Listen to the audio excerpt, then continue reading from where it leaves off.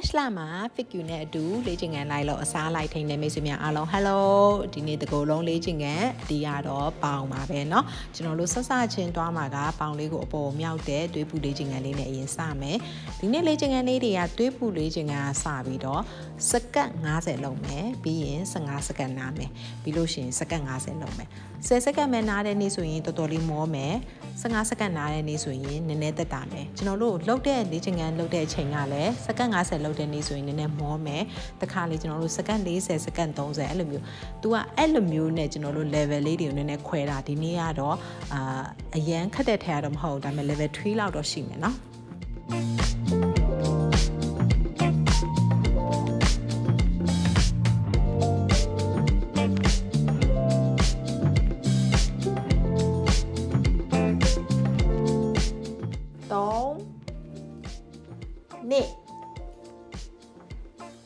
ဟုတ်ပြီစက္ကန့်15စက္ကန့်နားမယ်เนาะစက္ကန့်15စက္ကန့်နားပြီလို့ရှိရင်သွားမယ်တခုက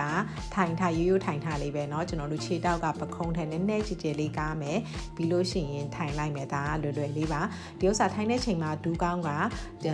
ခြေဖမိုးကိုမကြော်ပါစေနဲ့ထိုင်လိုက်တာကျွန်တော်ကအောက်ထိထိုင်နိုင်တယ်တချို့မိတ်ဆွေတွေအောက်ထိမထိုင်နိုင်ဘူးကိုထိုင်နိုင်တဲ့လောက်ထိပဲထိုင်ပါသုံးပုံတစ်ပုံပဲထိုင်တယ်လေးပုံတစ်ပုံပဲထိုင်တယ်တဝက်လောက်ပဲထိုင်တယ်အဆင်ပြေတယ်အဓိကကဒူးကောင်းက ခြေဖမိုးကိုမကြော်နဲ့ပြီးရင်ခန္ဓာကိုယ်ရဲ့ weight ကမိတ်ဆွေရဲ့ပေါင်နဲ့တင်ပေါ်မှာရှိနေမယ်ခါးကဖြောင်းဖြောင်းလေးเนาะ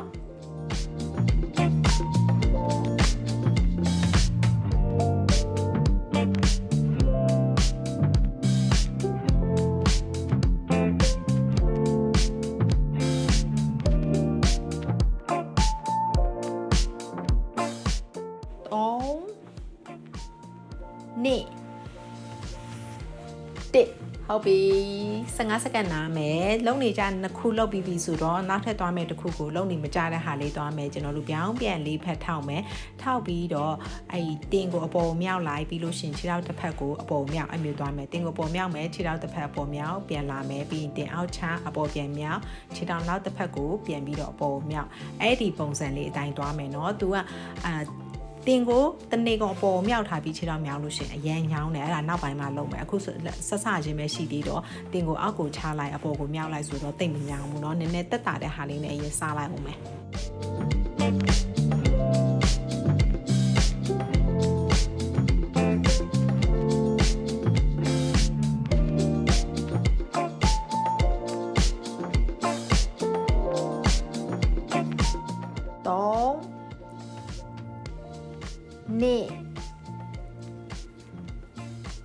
ဟုတ်ပြီ15စက္ကန့်နားမယ်ပြီးရင်သွားမယ်တခုကလည်းအခုနောက်ပိုင်းမှာလုပ်တဲ့အစ်စ်ပုံစံလေးเนาะကျွန်တော်တို့အလဲဖျားရဲ့အလဲမှာရက်ထားမယ်ပြီးရင်ညာဖက်ခြေတောက်ကအရှိကိုသွားပြီးတော့ဘယ်ဖက်ခြေတောက်ကအနောက်မှာတူးထောင်မယ်ပြီးရင်ပြန်လာခဲ့မယ် ပြီးပြန်လာခဲ့မယ်ပြီးရင်ညာဖက်ခြေတောက်ပဲအနောက်ကိုသွားမယ်ဒီအတိုင်းလေးပဲပြီးရင်ခြေတောက်ပြောင်းမယ်ဒီအတိုင်းလေးခြေထောက်တစ်ဖက်ထဲကိုစက်တိုက်လုပ်ရင်ပို့ပြီးတော့ညောင်းလို့ခြေထောက်ကိုပြောင်းပြီးတော့လုပ်တော့နောက်တစ်ဖက်ကခဏနားရတယ်ကျွန်တော်တို့ခန္ဓာကိုယ်ရဲ့ weight ကဘယ်ခြေထောက်ကပဲအရှိကိုရောက်ရောက်ခန္ဓာကိုယ်ရဲ့ weight ကအနောက်ကခြေထောက်နဲ့အနောက်ကပေါင်ပေါ်မှာရှိနေမယ်เนาะဒူးကောင်းကခြေဖမိုးကိုမကြော်ပါစေနဲ့နေ့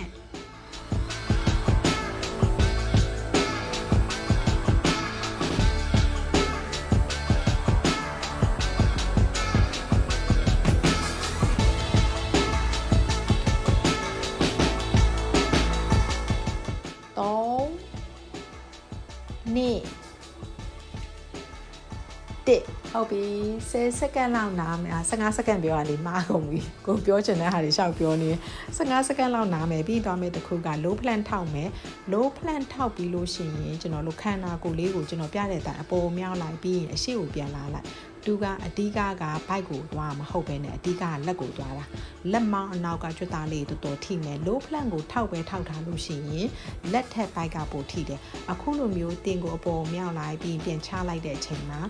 လက်မောင်းရဲ့အနောက်ကကျွတ်သားလေးတွေကတော်တော်လေးညောင်းနေလိမ့်မယ်เนาะဒီတိုင်းလေးပဲစက္ကန့်90လုံးမ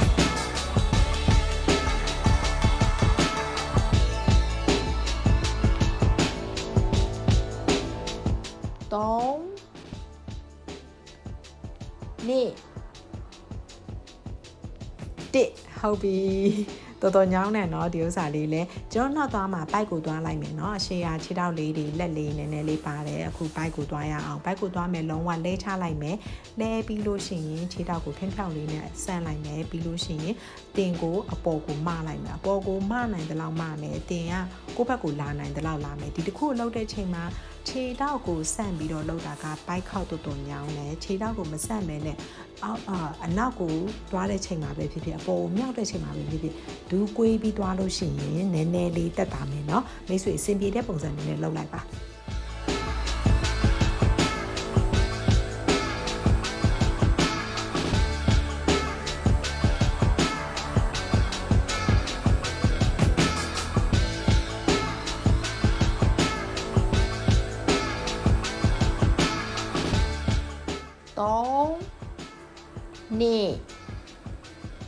โอเค15စက္ကန့်နားမယ်ကျွန်တော်တို့ပေါင်လေးတွေကိုပြန်လုပ်မယ်เนาะမတရက်ပြီးတော့ခြေထောက်ကိုကြည်ကြဲလေးကားမယ်ပခုံးထက်နှစ်ဆလောက်ပြီးခြေဖမိုးကို120 160 180ကိုနိုင်တလောက်လေးနဲ့ပေါင်တွင်းအစီလေးတွေချမယ်ထိုင်ပြင်ထားလိုက်မယ်ဒီတိုင်းရိုးရိုးလေးပဲထိုင်တဲ့ချိန်မှာကျွန်တော်အောက်ထိထိုင်နိုင်တယ်ဒူးကောင်းတဲ့ခြေတလုံးနဲ့60ဒီဂရီလောက်ထိဖြစ်အောင်ကျွန်တော်ထိုင်နိုင်တယ်ဒါပေမဲ့မိတ်ဆွေကလှုပ်ခြင်းမရှိလို့ရှင်အဲ့လောက်ထိမထိုင်နိုင်ရင်အဲ့လောက်ထိထိုင်စရာမလိုဘူးကိုနိုင်တလောက်ထိပဲထိုင်မယ် ထိုင်လိုက်တဲ့အချိန်မှာမိတ်ဆွေပေါင်တွင်းသားကကြွက်သားလေးတွေအစီလေးတွေတင်းနေတာကိုခန်းစားပေးပါထိုင်လိုက်တဲ့အချိန်မှာတင်ပါရဲ့ဘေးကကြွက်သားလေးတွေတင်းနေတာကိုခန်းစားပေးပါเนาะ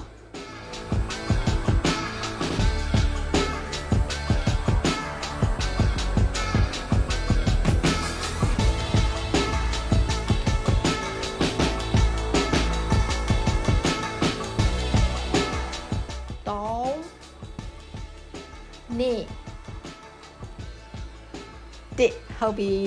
15စက္ကန့်နားမယ်ပြီးရင်သွားမယ်တခုက high plan ထောက်မယ် high plan ထောက်ပြီးတော့ဒူးကောင်းတစ်ဖက်ကအာတတောင်စစ်ဘဲညာထိထိပြီးတော့ခြေထောက်ကိုအပေါ်မြောက်တဲ့တခုကိုသွားမယ်ဒါလေးကနည်းနည်းလေးတော့မောမယ်နော်စင်တိဖြင့်စမယ်ဒီဥစ္စာလေးဟိုးပေါ်ထိမြောက်တဲ့ချိန်မှာခြေထောက်ကိုအသက်နိုင်ဆုံးဖြောင်းနိုင်တလောက်ဖြောင်းပေးပါဒီဥစ္စာလုပ်တဲ့ချိန်မှာကျွန်တော်တို့အာ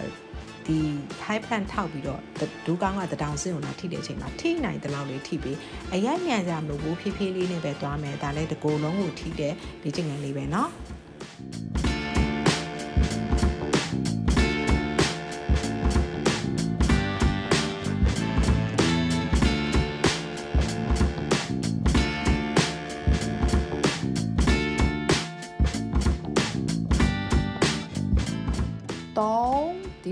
င့်ခန်းလေးကနည်းနည်းလေးတော့ခက်နေမယ်နော်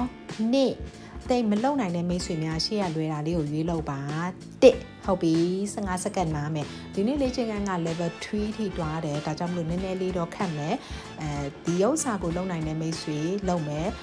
50စက္ကန့် break ထဲမရလို့ရှင်လည်းခဏနာပြီးတော့ try ကြည့်လည်းရတယ်เนาะကဲကျွန်တော်တို့ကိုဖက်ကိုပြောင်းမယ်အတူတူပဲဒူကောင်းတဲ့တောင်စင်းထိမယ်ပြီးရင်ခြေထောက်ကိုအပေါ်ထိမြောက်မယ်ကျွန်တော်ဆိုလို့ချင်တာကမိတ်ဆွေအတွက်ကဒါနည်းနည်းတော့ခက်နေတယ်ဒါပေမဲ့အဲခဏနားလိုက်လှုပ်လိုက်လှုပ်လို့ရတယ်ဆိုရင်နားလိုက်လှုပ်လိုက်နဲ့လှုပ်သွားလိုက်ဒါဆိုရင်ကိုယ့်ရဲ့ကြွသားလေးတွေကိုပို့ပို့ပြီးတော့ train လာနိုင်မယ်ဒါပေမဲ့အရန်ခက်နေတယ်လုံးဝကိုမလှုပ်နိုင်ဘူးဆိုရင်လွယ်တဲ့လေ့ကျင့်ခန်းလေးတွေကိုယ့်အတွက်အဆင်ပြေတဲ့လေ့ကျင့်ခန်းလေးတွေရွေးပြီးတော့လုပ်ပေးပါနော်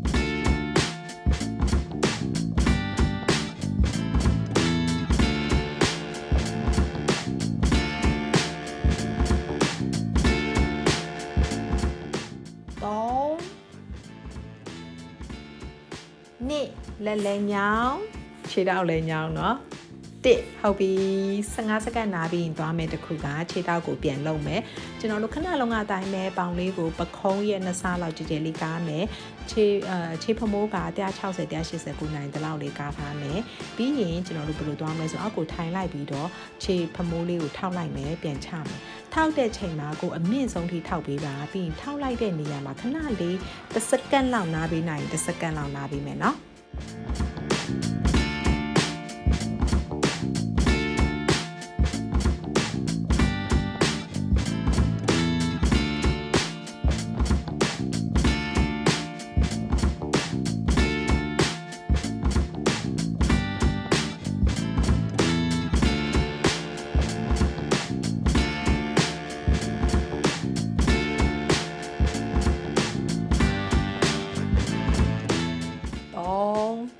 လုံးရှင်ညောင်းနေနော်နှစ်ပေါင်တွင်းလဲညောင်းပါတယ်တစ်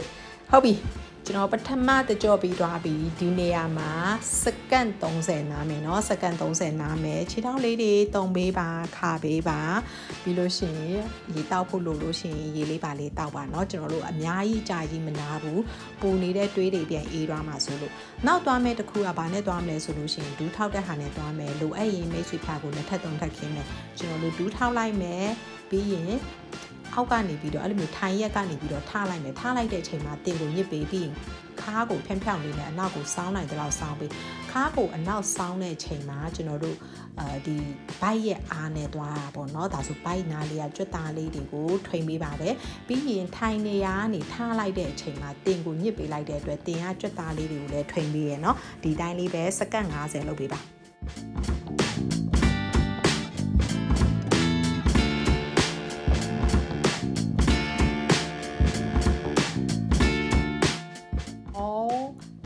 န္ဓာကိုယ်ကအနောက်ကိုမလဲနိုင်လို့ရှိရင်ထိုင်လိုက်ထားလိုက်နဲ့သွားလဲရတယ်เนาะအဆင်ပြေရဲ့နှစ်ကိုလှုပ်နိုင်တဲ့ပုံစံလေးနဲ့ပေါ့เนาะအဲ့လိုမျိုးလှုပ်ရင်းနဲ့လှုပ်ချင်းရတိုင်းပို့ပို့လှုပ်လာနိုင်မယ်တစ်ဟုတ်ပြီ10စက္ကန့်အော်15စက္ကန့်နားမယ်အမြဲတမ်း10စက္ကန့်ပဲပြောပြောနေ15စက္ကန့်နားမယ်ပြီးရင်သွားမယ်တခုကအာ ထိုင်ထားရိုးရိုးထိုင်ထားလောက်ပါပဲဒါပေမဲ့နည်းနည်းလေးတက်တာအောင်လို့เนาะကျွန်တော်တို့ထိုင်လိုက်တဲ့အချိန်မှာလက်ကအဲ့ဖြာကိုသွားထိမယ်တစ်ဖက်ထဲကဖြာကိုသွားထိမယ်ပြီးလို့ရှိရင်တစ်ဖက်ကအပေါ်သွားမယ်ပြီးရင်ပြန်ထမယ်ပြန်ထိုင်တဲ့အချိန်မှာနောက်တစ်ဖက်ကိုပြောင်းမယ်သူကအဲ့လိုမျိုးလေးလှုပ်လိုက်တော့လက်ကလေးကိုလည်းပါတယ်ပြီးလို့ရှိရင်ထိုင်ထကြည့်ပဲစတိုင်မဟုတ်တော့အဲ့လောက်ထိမညောင်ဘူးเนาะဒီဥစ္စာလေးကိုကျွန်တော်တို့စက္ကန့်90လုပ်ပေးပါ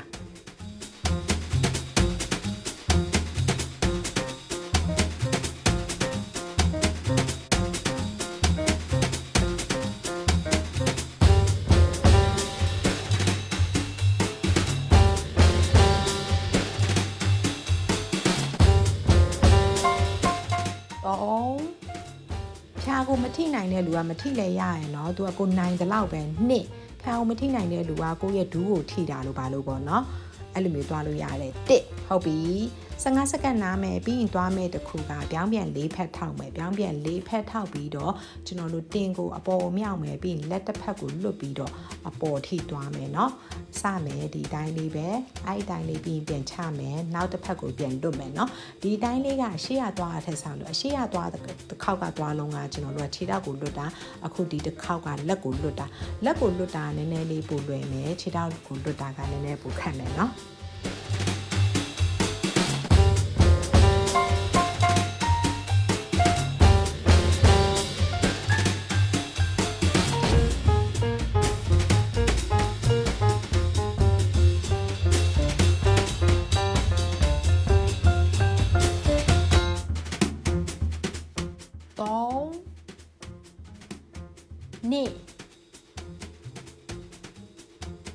ဟုတ်ပြီ15စက္ကန့်နားပြီးရင်ထိုင်ထပြန်သွားမယ်เนาะဒီနေ့ကအဓိကက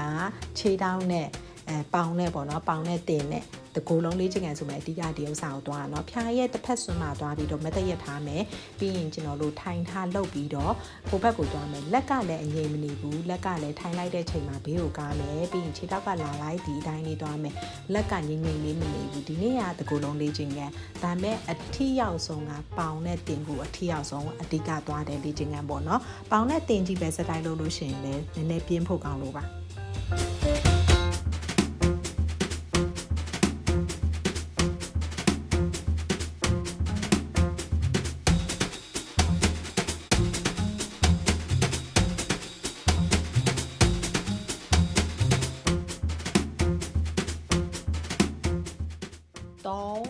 က်ကိုဟိုးအနောက်ထိတွားပေးပါတယ်။နှစ်ဒါဆိုလို့ရှိရင်ဖုန်းတွေအရန်ဆော့ပြီးအရန်ကိုင်းထားတဲ့ပခုံးတွေတစ်တက်တာတယ်နော်။ကျွန်တော်15စက္ကန့်နားပြီးရင်တွားမယ်တစ်ခုကအာ high plan ပုံစံလေးထောင်းမယ်ပြီးရင်ခြေထောက်ကအရှိလာမယ်အရှိလာပြီးလို့ရှိရင်ကျွန်တော်တို့ထိုင်လိုက်မယ်ထိုင်ပြီးအနောက်ကိုလဲမယ်ပြီးရင်အိတ်ထားမှတင်လုပ်မယ်ပြောတာရှုပ်တယ်ကြည့်ပြီးတော့လုပ်ပါ ထိုင်လိုက်မယ်အိတ်ထားမှတင်ပြန်ထမယ်ပြီးလို့ရှိရင်လက်ပြန်ထောက်ခြေထောက်နောက်ပြန်သွားဒီဥစ္စာလဲတော့နည်းနည်းလေးခက်တယ်ကျွန်တော်လဲထားတဲ့ချိန်မှာလက်ကတစ်ဖက်ကနည်းနည်းထောက်ပြီးထိန်ပြီးတော့ထားရတယ်တချို့ခန္ဓာကိုယ်ပိုက်ရဲ့ကြွက်တာအရန်ရှိတဲ့လူဆိုလို့ရှိရင်ထားတဲ့ချိန်မှာလက်ကထောက်ဆရာမလို့ဘူးသူ့အချိန်လေးနဲ့သူ့ကြွက်သားလေးနဲ့သူထားလို့ရတယ်မိတ်ဆွေလက်တစ်ဖက်ပဲထောက်ပြီးထားလို့ရရင်တစ်ဖက်နှစ်ဖက်စလုံးထောက်မှရရင်နှစ်ဖက်တော့ကိုယ်အဆင်ပြေတဲ့ပုံစံနဲ့လုပ်ပေးပါ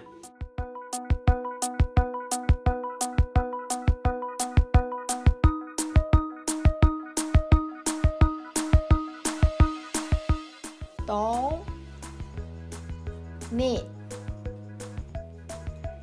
တစ် ဟုတ်ပြီ15စက္ကန့်နားမယ်နောက်သွားမယ်တခုကထိုင်ထောက်ပြန်လာမယ်ခဏလုံးကအတိုင်းမယ်ခြေထောက်ကြည်ကြဲလေးကားမယ်ပခုံးထက်နှစ်ဆလောက်ကျဲမယ်ခြေဖမိုး160 180စင်ပြီးတလောက်လေးပြီးရင်ကျွန်တော်တို့ထိုင်ချလိုက်မယ်ထိုင်လိုက်ပြီးတော့အဲ့နေရာမှာပဲနည်းနည်းလေးရက်ပြီးတော့အဲ့နေရာမှာပဲပြန်ထိုင်မယ်ဒီအတိုင်းလေးသွားမယ်ခြေတလုံးနဲ့ပေါင်နဲ့ကဖြစ်နိုင်လို့ရှင်90ဒီဂရီလောက်သွားနိုင်ရင်သွားပေးမယ်မသွားနိုင်လဲကိစ္စမရှိဘူးခါဖြောင်ဖြောင်လေးသွားမယ်ခါကကုန်းမနေဘူးကော့မနေဘူးเนาะ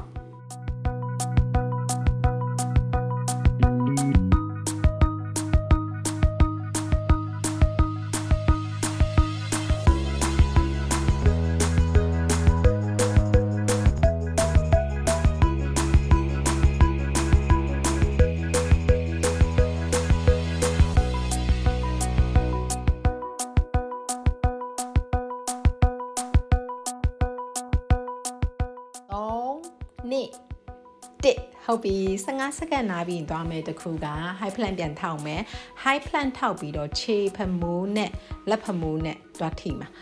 ညာဖက်ခြေဖမိုးနဲ့ညာဘဲဖက်လက်ဖမိုးနဲ့ထိတာเนาะညာဖက်ခြေဖမိုးနဲ့ဘဲဖက်လက်ဖမိုးနဲ့ထိတာအဲ့လိုမျိုးသွားမယ်စင်တစ်ဖြင့်စမယ်ဒီတိုင်းလေးပဲเนาะကျွန်တော်တို့ဖြည်းဖြည်းလေးပဲသွားမယ်ဖြည်းဖြည်းလေးပဲသွားမယ်ထိန်းပြီးတော့သွားမယ်မြန်စရာမလိုဘူးအရန်မြန်လို့ရှိရင်လဲကြမှာဆိုလို့ထောက်ထားတာเนาะဖြည်းဖြည်းလေးသွားလဲသူကထိန်းနေရတယ်ဘိုင်းနဲ့လည်းထိန်းရတယ်လက်နဲ့လည်းထိန်းရတယ်ဒါကြောင့်ဒါလေးကတော့တကိုယ်လုံးကိုထိပါတယ်เนาะ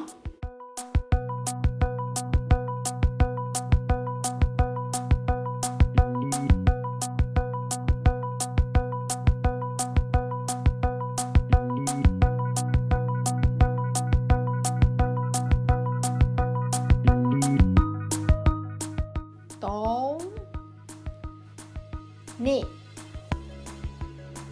တစ်ဟုတ်ပြီကျွန်တော်တို့လက်ထောက်တာကိုစက်တိုက်မသွားဘဲနဲ့အဲဒူးထောက်တာလေးကိုရောလိုက်မယ်ကြားထဲမှာညှက်လိုက်တာပေါ့နော်နောက်ပြီးတော့ဒီဖက်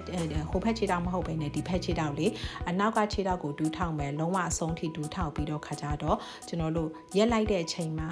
အပေါ်ထိမြောက်မယ်ပြီးရင်အောက်ကိုပြန်လာမယ်ကျွန်တော်ကအောက်ဆုံးထိဒူးထောက်နိုင်တယ်ဖြည်းဖြည်းချင်းချပြီးတော့ထိမ့်ပြီးတော့ဒူးထောက်နိုင်တယ်မိတ်ဆွေကအဲ့လိုမျိုးမထောက်နိုင်ဘူးဆိုလို့ရှိရင်ဒူးကဖြာကိုထိစရာမလိုဘူးလွတ်ပြီးတော့ တော့ရိုက်မိမှာဆိုလို့ရိုက်မိရင်ဒဏ်ရာရမှာပုံမှန်အတိုင်းလေးပဲကျွန်တော်တို့အောက်ကိုရိုးရိုးဒူးထောက်တဲ့ပုံစံအတိုင်းတွားလို့ရတယ်ကျွန်တော်လိုမျိုးအောက်ထိရတယ်ထိမ့်ပြီးတွားလို့ရတယ်ဆိုရင်ဒီအတိုင်းတွားမယ်နည်းနည်းစိန်ခေါ်ခြင်းနဲ့ဒါပေမဲ့လွတ်ကျသွားမှကြောက်လို့ရှိရင်အောက်နာလေးမှာထမိန်ဖြစ်ဖြစ်ပစိုးဖြစ်ဖြစ်တစ်ခုခုကိုခံထားပေးလိုက်เนาะလွတ်သွားလို့ရှင်လည်းအခန့်တစ်ခုရှိတာပေါ့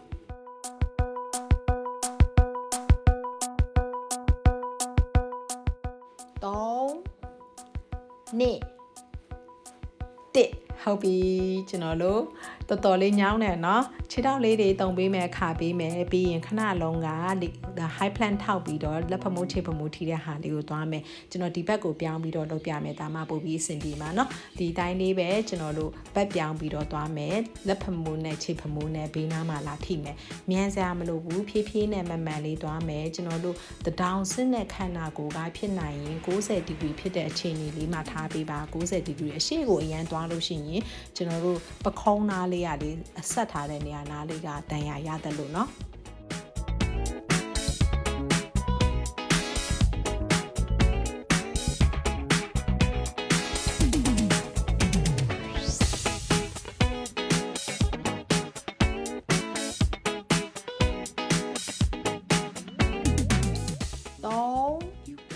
ဒီနေ့ဟာနည်းနည်းလေးခက်တယ်နော်နှစ်မိတ်ဆွေတို့လုံနိုင်ကြလားတစ် ဟုတ်ပြီလုံနိုင်လားမလုံနိုင်ဘူးလားကျွန်တော်ကို comment မှာဖြေပေးပါအောင်ဒီလေးချင်းကန်းလေးတွေကိုအစားဆုံးလုံနိုင်လားဒါမှမဟုတ်ဂျားထဲမှာနားပြီးတော့လုံလိုက်တာလုံနိုင်လားကျွန်တော်ကို comment မှာနည်းနည်းပြောပေးအောင်เนาะကျွန်တော်ဒူးထောက်တာလေးကိုပြန်လုံမယ်ဒီဘက်ကိုဒူးထောက်ဖို့အတွက်ဒူးထောက်မယ်ပြီးမတရက်ပြီးတော့အပေါ်မြောက်မယ်မိတ်ဆွေတို့ကလေကျွန်တော်ကိုလေးချင်းကန်းလေးတွေလုံနိုင်တယ်ပြီးလို့ရှင်ရလက်လေးတွေပြောပေးလို့ရှင်ကျွန်တော်အဲ့ဒါလေးကြည့်ပြီးအရန်ကြည့်နူပြီးဖြစ်တယ်ပြီးဘယ်နေရာနားလေးကပိန်သွားတယ်အရန်ပိန်မသွားဘူးဝေးချမသွားပေမဲ့ ခန္ဓာကိုယ်ကချစ်သွားတယ်ဗမာဝတ်စုံလေးတွေကိုပြန်ဝတ်လို့ရတယ်အဲ့လိုမျိုးလေးတွေကိုဖတ်ပြီးတော့လေတော်တော်လေးအစ်စ်အစ်စ်ကိုပြန်ပြီးတော့လှုပ်ဖို့အတွက်အရန်အားရှိလာတာ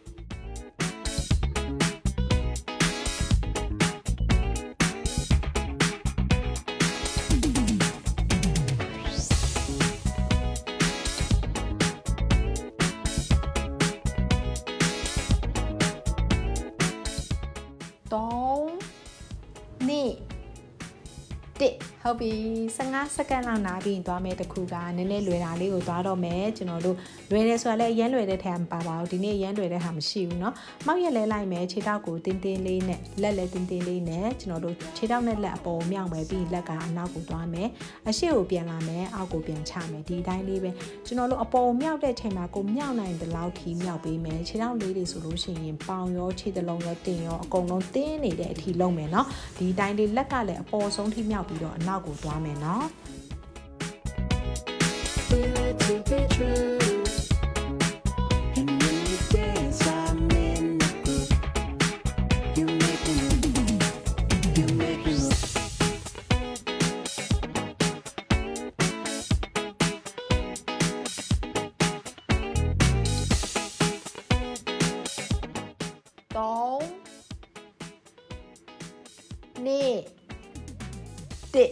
ဟုတ်ပြီကျွန်တော်တို့တော်တော်ညောင်းနေလောက်ပြီဒူးတရားတကြော့ပြီးသွားပြီเนาะညမှာစက္ကန့်30နားမယ်မိတ်ဆွေတို့ရေတောက်ချင်ခဏလေးတောက်ပါနည်းနည်းလေးပဲတောက်ပါအများကြီးတောက်နေเนาะအာဒီချင်းကလှုပ်ရင်းနဲ့အန်လာမှာဆိုလို့ပါခြေထောက်လေးလေးတုံပေးပါခါပေးပါနောက်သွားမယ်တခုကမတရက်ပြီးတော့ခြေထောက်တစ်ဖက်က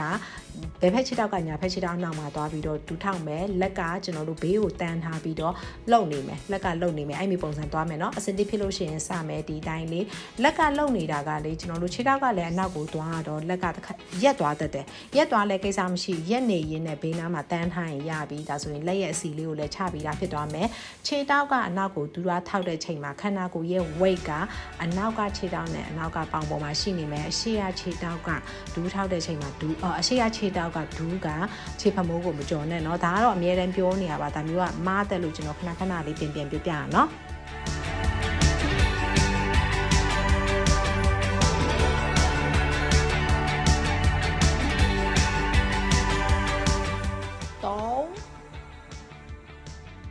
3 2 ဟုတ်ပြီ15စက္ကန့်နားမယ်ပြီးရင်သွားမယ်တခုကဘိုက်ကိုပြန်လုံးမယ်เนาะကျွန်တော်ဘိုက်လုံးမယ်ဆိုရင်လဲလိုက်မယ်လဲပြီးတော့လက်က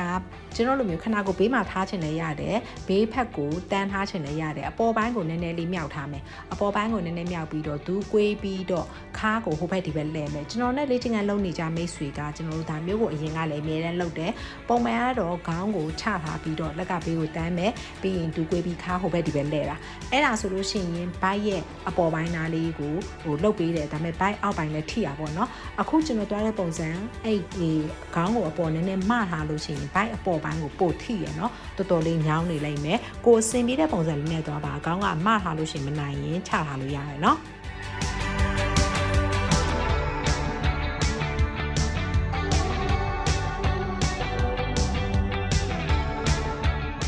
အောင်နေတစ်ဟုတ်ပြီတော်တော်ညောင်းတယ်15စက္ကန့်နားမယ်နောက်သွားမယ်တခွန်နည်းနည်းလေးလွယ်တဲ့ထဲကပါတယ်ကျွန်တော်တို့ plan ထောက်ပြီးတော့ခြေတောက်ကရှေ့ကိုလမ်းလာခဲ့တာခုံလာခဲ့တာမဟုတ်ဘူးလမ်းလာခဲ့တာဆိုတော့နည်းနည်းတက်တာရယ်เนาะကျွန်တော်တို့ high plan ထောက်မယ်ပြီးရင်ခြေတောက်ကအနောက်ကနေပြီးတော့အရှေ့ကိုလမ်းလာခဲ့မယ်ပြီးရင်အနောက်ကိုပြန်လမ်းသွားမယ်ဒီအတိုင်းလေးပဲဒါလေးကခုံတာထက်စားလို့ရှိရင်နည်းနည်းတက်တာတယ်လုံးဝ plan ပဲထောက်နေတာထက်စားလို့ရှိရင်လည်းခြေတောက်ကအရှေ့ရောက်တဲ့ချိန်မှာလက်ကအဲ့လောက်မညောင်းတော့ဘူးခြေတောက်ကအနောက်ရောက်တဲ့ချိန်မှာပဲလက်ကပုံညောင်းတာဒါကြောင့်မို့ဒီဥစ္စာကအားလုံးထဲမှာနည်းနည်းတက်တာတဲ့ထဲကပါတာပေါ့နော်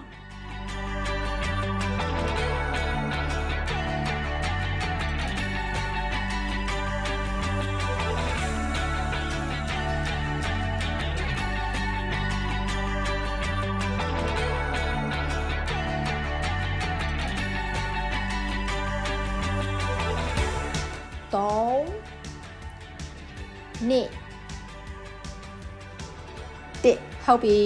15စက္ကန့်နားပြီးရင်ကျွန်တော်တို့ရိုးရိုးထိုင်ထားလေးသွားမယ်ခြေတောက်ကပခုံးတဲ့နည်းနည်းလေးကျေကားမယ်နည်းနည်းလေးပဲကျေကားမယ်ပြီးလို့ရှိရင်ခြေဖမိုးနဲ့ဒူးကောင်းကအပြင်ကိုဥတီထားမယ်ရိုးရိုးလေးပဲထိုင်လိုက်မယ်ပြီးရင်ပြန်ထမယ်ထိုင်လိုက်တဲ့ချိန်မှာကိုထိုင်နိုင်တဲ့လောက်လေး1နှစ်3ထိုင်ပြီးတော့ပြန်ထမယ်ကိုနိုင်တဲ့လောက်လေးပဲလုပ်မယ်เนาะဒီဥစ္စာကိုလုပ်တဲ့ချိန်မှာအတူတူပဲကျွန်တော်တို့ဒူးကောင်းက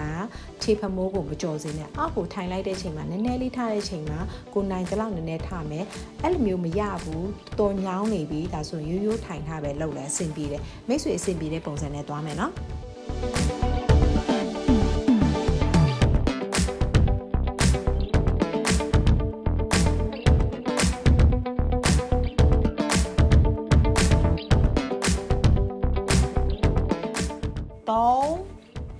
တော်တော်ညောင်းနေလောက်ပြီ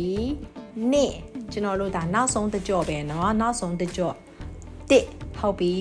15စက္ကန့်နားမယ်နောက်ဆုံးတကြော့ဆိုတာဒီတကြော့ဟိုစက္ကန့်30နားတဲ့အကြော့ကိုပြောရအောင်ဒီနောက်ဆုံးလေးချင်းကတခုပြောရမှာမဟုတ်ဘူးနောက်သွားမယ့်တခုကလဲလိုက်မယ်ခြေထောက်တစ်ဖက်ကကိုေးထားပြီးတော့တစ်ဖက်ကဆန့်ထားမယ်ပြီးလို့ရှိရင်လက်နဲ့ခြေထောက်နဲ့လက်ဖမိုးနဲ့ခြေဖမိုးနဲ့အပေါ်မှာလာထိမယ်ဒီချိန်မှာကျွန်တော်တို့ခေါင်းကကျွန်တော်လိုမျိုးအပေါ်မှာပဲအဲ့တိုင်းလေးထားထားလို့လည်းရတယ်ခန်းခေါင်းကအောက်ကိုလဲထားလို့လည်းရတယ်ခေါင်းကအပေါ်ကိုမထားလို့ရှိရင်စက်ကြောနဲ့မတာမဟုတ်ဘူးပိုက်ခောက်ရဲ့အကြောနဲ့ပေါ့နော်ဘိုက်ရဲ့ကြွက်သားနဲ့မတာဒါကြောင့်မလို့မိတ်ဆွေကမမနိုင်ဘူးဒါမှမဟုတ်မရင်းနဲ့ညောင်းလာပြီဆိုရင်အောက်ကိုချလိုက်လို့ရတယ်စက်ကြောနာမဆိုလို့နော်နှစ်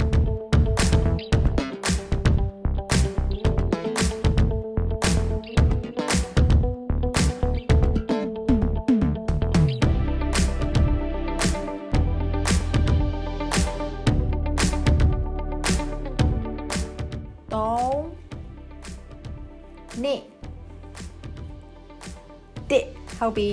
ပြီးရင်ကျွန်တော်တို့15စက္ကန့်နာပြီးဒီဘက်ကိုသွားမယ်ဒီဘက်သွားလဲအတူတူပဲเนาะခဏလုံးကအတိုင်းပဲမိတ်ဆွေတို့အပေါ်ပိုင်းကမနိုင်မမယ်မမနိုင်လို့ရှင်လဲထားလို့ရတယ်ကိုနိုင်တဲ့ပုံစံလေးနဲ့သွားမယ်အစင်တစ်ဖြစ်ရင်စမယ်ဒီအတိုင်းလေးသွားမယ်ဇက်ကြောမနာအောင်လို့ဇက်မထီအောင်လို့တော့ကိုကိုကို view site ပေးပါသူက bike ကကြွသားလေးတွေကိုခန်းစားပေးပါခြေထောက်မလိုက်တဲ့ဖက်က bike အောက်ပိုင်းကစီလေးတွေလှုပ်ရှားနေမယ်လက်ကအပေါ်ပိုင်းကလက်ကတွားတဲ့နေရာနားလေးပြီးကျွန်တော်တို့အပေါ်မထားလို့ရှိ ရင်အပေါ်ပိုင်းကကြွက်သားတကြောလုံးက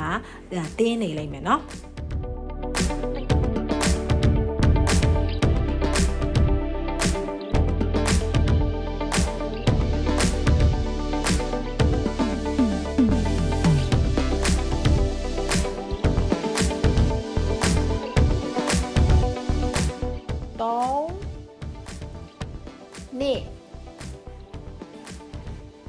ဟုတ်ပြီ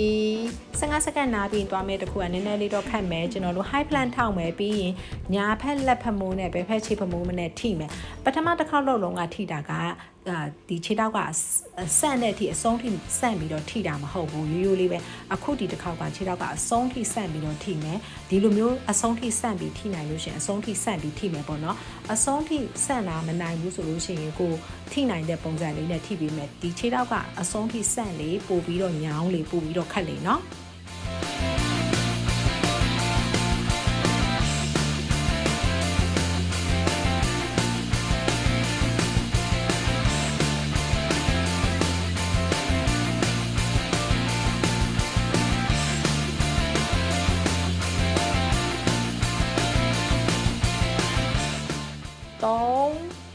ကိုလှုပ်တဲ့ချိန်တော်တော်လေးညောင်းနေလောက်မယ်နော်နှစ်အရှိကလှုပ်ထားတဲ့အချိန်လေးလည်းပါတယ်နည်းနည်းပိုခက်လာလည်းပါတယ်တစ်ဟုတ်ပြီ15စက္ကန့်နားမယ်နားပြီးသွားမယ်တခုကရှေ့ကလှုပ်ပြီးတာနဲ့တူပါတယ်ကျွန်တော်တို့ဒူးထောက်မယ်ဒူးထောက်ပြီးတော့တင်ကားခြေဖနောက်ပေါ်ကိုမထိုင်တော့ဘူးအဲ့လိုမျိုးတိုင်းပဲသွားမယ်တင်ကိုဟိုကြစ်ကြစ်ကလေးထားမယ်ပြီးလို့ရှင်အဲ့တိုင်းလေးထားပြီးအနောက်ကိုစောင်းနိုင်တဲ့လောက်စောင်းမယ်ဖြည်းဖြည်းချင်းသွားမယ်ကိုစောင်းနိုင်ဆုံးထိစောင်းမယ်ပြီးရင်အရှိတက်တက်လေးပြန်လာမယ် ဘိုက်ရဲ့အားကိုသုံးပြီးတော့သွားတာနော်ခဏလုံးကအရှိကလှုပ်ထားတဲ့လုံးကကျွန်တော်တို့ကအောက်ကိုပြန်ထိုင်တော့ဘိုက်ကအဲ့လောက်မရဘူးအခုအောက်ကိုပြန်မထိုင်ဘူးဘိုက်ရဲ့အားကိုပဲစတိုက်ကြီးသွားနေရနော်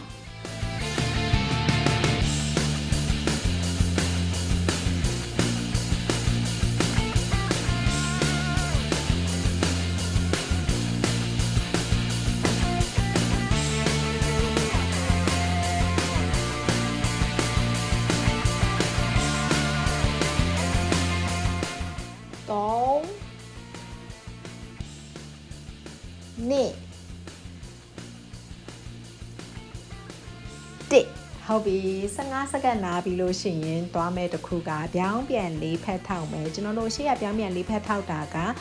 ခြေထောက်ပဲဖြစ်ဖြစ်လက်ပဲဖြစ်ဖြစ်တစ်ခုကိုပဲလွတ်တယ်အခုဒီတစ်ခေါက်တော့ခြေထောက်နဲ့လက်ကိုလွတ်မယ်ညာဖက်ခြေထောက်နဲ့ဘယ်ဖက်လက်နဲ့အဲ့လိုမျိုးလွတ်ပြီးတော့အပေါ်မှာထိနိုင်ရင်ထိမယ်မထိနိုင်ဘူးဆိုရင်ကိစ္စမရှိဘူးကျွန်တော်တို့လွတ်ပဲလွတ်လိုက်လဲရတယ်အပေါ်မှာထိတဲ့ချိန်မှာဒူးကကွေးပြီးတော့ပဲထိလို့ရရင်ကွေးပြီးတော့ထိမယ်ဆန့်ပြီးတော့ခြေထောက်ကိုဖျင်းဖြောင်းလေးဆန့်ပြီးတော့ထိလို့ရရင်ဆန့်ပြီးတော့ထိမယ်ခြေထောက်ဆန့်လေးပို့ပြီးတော့ခတ်လေနော်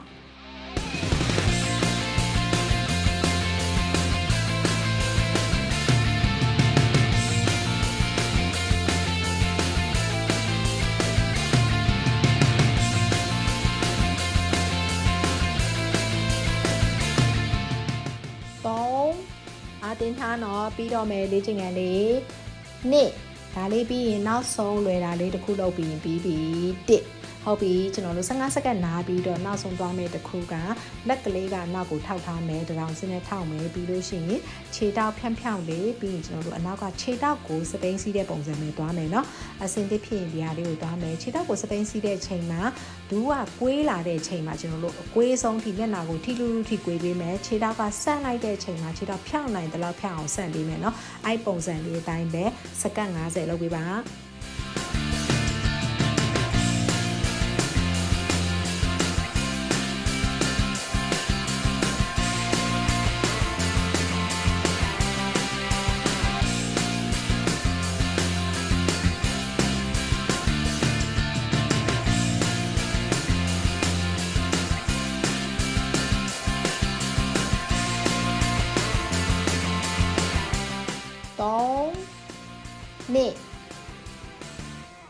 ဟုတ်ပြီ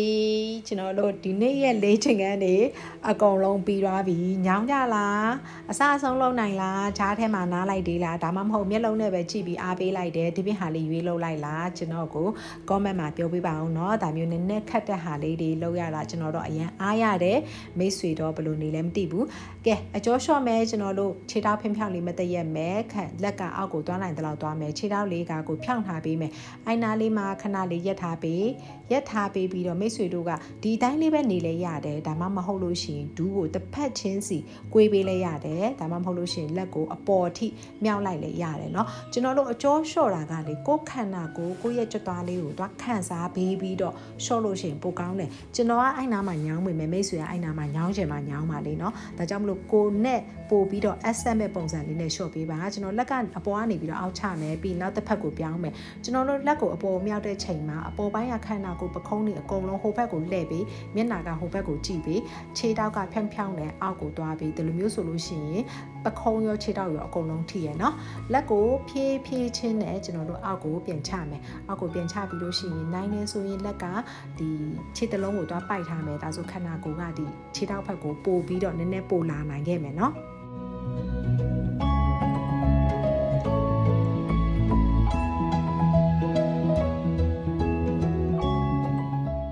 ချင်လို့ရှိရင်လက်နှစ်ဖက်ကိုကြောရဲ့အနောက်မှာသွားပြီးတော့အပေါ်မှာသွားပြီးတော့ဆုထားလိုက်မယ်ပြီးရင်အောက်ကိုသွားမယ်ဒါဆိုရင်ကျွန်တော်တို့ခန္ဓာကိုယ်ကခြေထောက်ဖက်ကိုနည်းနည်းလေးပိုးပို့ပြီးတော့လာခဲ့နိုင်မယ်အဲ့နာမှာခဏလေးရထားပြီနော်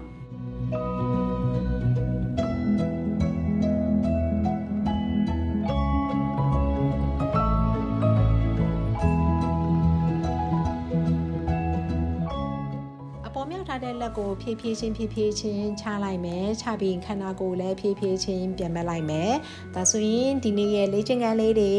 အကျော်လျှော့တာလေးတွေအကုန်လုံးပြီးသွားပြီလေ့ကျင့်ခန်းပြင်းပြင်းထန်ထန်လုပ်ထားတော့ကျွန်တော်ကြိုက်တဲ့အဲကယ်လိုရီလည်းများတဲ့မုန်တီတုတ်နန်ဂျီတုတ်ဒီဥစ္စာလေးကိုစားဖြစ်တဲ့ package ကြော်ကလည်းပါလိုက်သေးရဲ့เนาะဒါကြောင့်နေ့လယ်စာကိုကျွန်တော်အသီးရွက်တွေအများကြီးနဲ့စက်သားနည်းနည်းပါတဲ့အထဲမှာစက်သားလိပ်ပြီးတော့စားထားတယ်အဓိကကတော့အသီးအရွက်သေးကြီးပဲဘာဖြစ်လို့လဲဆိုရင်ညစာကြတော့ဆိုင်ကဘာ ဘီကျူးကိုပြန်ဆန်းရမှာကျွန်တော်တို့ကဘာဘီကျူးရောင်းတာဆိုတော့လေအရတာ